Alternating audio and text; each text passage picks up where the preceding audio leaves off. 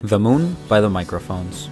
We're only really gonna be talking about the moon as its own standalone song here because the Glow Part 2 just has so many fucking bangers that like this song kind of just gets drowned out in them. Not to say that it's a bad song or anything, but I just find this song to not be as enthusiastic, ambitious, and memorable as a lot of the other tracks. What it is though is uplifting as fuck. This track just has me by the balls at the beginning with the super long guitar intro, and the saxophones that come in later on in the song are just so absolutely perfect, man. I, I love this track a lot. And of course, the song never fails to put a smile on my face, so it's a banger in my book. Peace!